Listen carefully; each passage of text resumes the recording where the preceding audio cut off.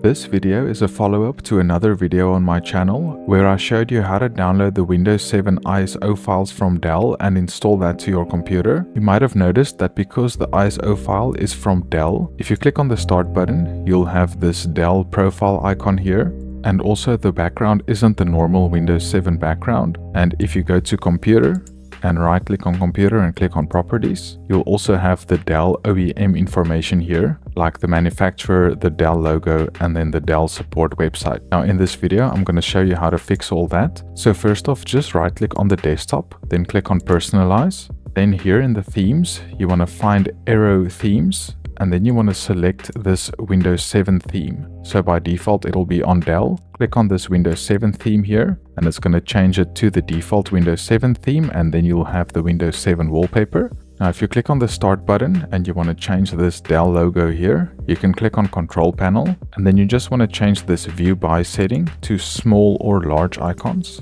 And then you want to click on User Accounts. Then you can click on Change Your Picture, and then you can change your picture to any one of these just going to click on this flower because that's a classic in Windows 7. And if you want to upload your own picture, you can click on browse for more pictures and then you can browse your computer for another picture that you can use as your user account picture. But I'm just going to select the flower, then click on change picture. And then if we close control panel and we open the start menu, we'll have this flower here.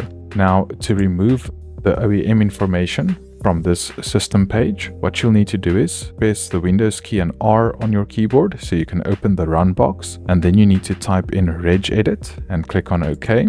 And then you need to navigate to the following key. You're going to need to expand computer, then H key local machine, then software, Microsoft, then scroll down to Windows, open Windows, then open current version, and then inside of the current version folder, you're going to find this OEM information folder right here. Now inside of this registry key, you're going to find the logo, the manufacturer and the support URL. You can just select each of them, then press delete on the keyboard and then click on yes. Select the next one, press delete on the keyboard, click on yes, and then also just delete the last one.